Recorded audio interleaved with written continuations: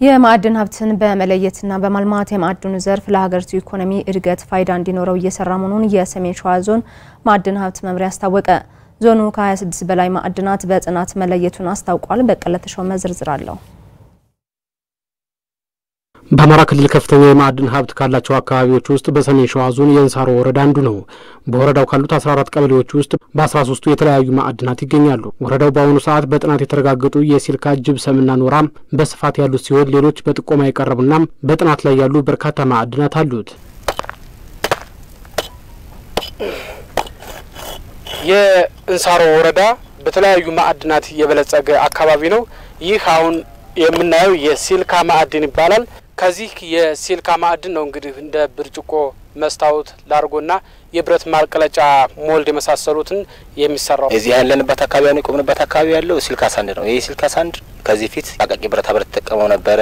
ሜቴክ አስራ አምስት ሄክታር ነበረው እዚኛ ጋር ከዚህ እየወሰደው ለብረት ማቅለጫ mold ይጠቀምበት ነበረ። ሰፊ የ silica sand ክምችት አለ። already ከአራት ሚሊዮን ቶን በላይ የሚገኝ ግምት አለው። ከሁለት ሚሊዮን ቶን በላይ lime material ይኖራል። እዚህ ከጀማ ወንዝ መለስ ተጀምሮ ከአንድ ሚሊዮን ቶን በላይ የጅብሰም ማዕድናት አሉ። የግንባታ አሸዋ የሚገኝባቸውም አሉ። በዚህ በጀማ ላይ እነኚህ እነኚህ ጥናቶች በጥናት already የተረጋገጡና አሁንም አገልግሎት ላይ የሰጠናቸው investor የሚተሳተፉባቸው ናቸው። ከዛ ባለፈ ሰፊ በጥናት ላይ ገና ያሉ እንደ ኦፓል ብረት እና ነሐስ የመሳሰሉ ማዕድናቶች ይኖራሉ ተብሎ ይገመታል። በወረዳው ያለው የማዕድን ሀብት ስራ ላይ በመዋል የሚፈለገውን ጥቅም እንዲሰጥ እየሰሩ መሆናቸውን የተናገሩት የእንሳሮ ወረዳ ማዕድን ሀብት ልማት ጽሕፈት ቤት ኃላፊ አቶ ዘሪሁን ገንዘብ በማዕድን ልማት የተሰማሩ ባለሀብቶች የሚፈለገውን የስራ እድል መፍጠር እንዲችሉና ሀብት እንዲያፈሩ ሙያዊ ድጋፍና ክትትል እያደረግን ነው ብለዋል። አሁን በስራ ላይ ያሉት እኛ ወረዳ ሶስት አሉ። ሶስት በሲልካ ሳንድ ላይ የተሰማሩ የተለያዩ ፍቃድ ይወሰዳሉ። ፍቃድ ወስደው ወደ ስራ ከመግባት አንጻር ላይ ሰፊ ችግር ያለባቸው የሚመጡትን ባለ ሀብቶችም የሚመጡት እንትኖችን ስለዚህ አሁን በተሰጠው እንትን መሰረት የማይገቡ ፍቃዶችን እየሰረዝን ያለን። ከዛ ውጭ ግን በአግባቡ እኛ ደግፈናቸው እኛ ማድረግ ያለብን ነገር እየደገፍን እነሱ ወደ ስራ ውስጥ ከገቡ ማለት ሰፊ የስራ እድል ይፈጠራል። ለስራ እድሉ ማመቻቸት ነው። ከዛ ባለፈ ለሀገርም ኢኮኖሚ ከፍተኛ ፋይዳ አለው። ስለዚህ በዚህ ጉዳይ ላይ ምንም በፖዚቲቭ መልክ ነው እኛ እያስተናገድናቸው ያለ ነው ወይም እየደገፍናቸው ያለው በወረዳው ያለው የማዕድን ሀብት ክምችት ለስራ አመች መሆኑንና የሚፈለገውን ውጤት በአጭር ጊዜ ለማምጣት እድል እንደፈጠረላቸው በሲልካ ማቀነባበር የተሰማሩ አካላት ተናግረዋል። የምንሰራው ስራ ምንድን ነው? የ silica processing ነው። እንደ ድርጅቱ የምፈልገው ማዕድን ይዞታ ይዘን እንትን እየሰራን ያለ ነው። እንደውም ድርጅቱ ኤክስፖርት የሚያደርገውን ነገር እዚሁ ወረዳው ላይ ፋብሪካውን እስከ መትከል ድረስ process ያደርጋል። በስራ እድልን በመፍጠር አኳያ እዚህ ላይ አሁን ሁለት ጥበቃዎች አሉን በ shift የሚሰሩ ከዘጠኝ ሴት አንድ አስራ ሁለት ወንዶች አካባቢ ይሰራሉ። እዛ ደግሞ raw material ያለበት አጠቃላይ ወደ ሰላሳ ሁለት እዛኛው አካባቢ ያሉን ሰራተኞች ማለት ነው። silica ውን አጥቦ ለማቅረብ ነው እንግዲህ የጀመር ነው።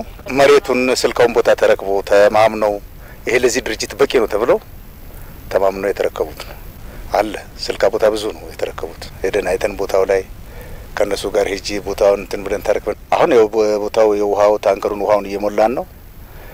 ስልካም እየጫን ነው። በሰሜን ሸዋ ዞን 21 የማዕድናት አይነት መለየታቸውን የተናገሩት የዞኑ የማዕድን ሀብት ልማት መምሪያ ተወካይ ኃላፊ አቶ በሱ ፍቃድ ዘየደም ሌሎች ማዕድናትንም በጥናት ለመለየት ከባለድርሻ አካላት ጋር እየሰራን ነው ብለዋል። ከ21 አይነት ማዕድናቶችን ለይተናል። እንሳሮ ላይ ሰፊ የሆነ የላይምስቶን የሲልካ ሳንድ ክምችት አለን። በተጨማሪም እንደዚሁ መራቤቴ ላይ በተመሳሳይ መልኩ ላይምስቶን እና ሲልካ ሳንድ አለን። አሁን እኛ ከደብረ ዩኒቨርሲቲ ጋርና ከክልሉ የጥናት ቡድን ጋር አብረን በመሆን በሚዳ ወረዳ ላይ የብረትና የድንጋይ ከሰል በጥቆማ ደረጃ ስላለ እሱ እንዲታይ በሰላ ድንጋይ ሞጃና ወደራ ማለት ነው። እዛ ላይ ኦፓል ጥራት ያለው ኦፓል አለ የሚል ጥቆማ ስላለን ከወረዳዎች ባለሙያዎች ላይ እንደዚህ አይነት የሀብት አይነት በጥቆማ ደረጃ አለ የሚለውን እሱ መነሻ እያደረግን ወደ ጥናት ለመግባት እንቅስቃሴ ላይ ያለ ነው። የጀመርናቸውን ስራዎች አሉ። ከዘርፉ የሚጠበቀውን ጥቅም እያገኙ እንዳልሆነ የተናገሩት ተወካይ ኃላፊው ሕገወጥ ነጋዴዎችን በመከላከልና ያለውን የማዕድን ሀብት ከመለየት ባለፈም በማልማት ኢኮኖሚውን ለማነቃቃት ትኩረት ሰጥተን እየሰራን ነው ብለዋል።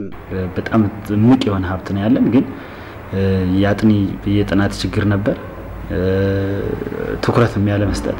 ከዛም ባለፈ በህገ ወጥ መንገድ ዝም ብሎ ሲንቀሳቀስ ነበር የቆየውና አሁን ላይ እኛ መስራት ያሰብነው በዋናነት የህገ ወጥ ማዕድን ዝውውር ግብረ ኃይል እስከ ወረዳ ድረስ ጠንከር ያለ ግብረ ኃይል አቋቁመን ወደ ስራ ለመግባት እንቅስቃሴዎች ላይ ነን። ሁለተኛ ግንዛቤ ፈጠራ ላይ ማህበረሰቡ ምንድን ነው ማዕድን የማት ነው?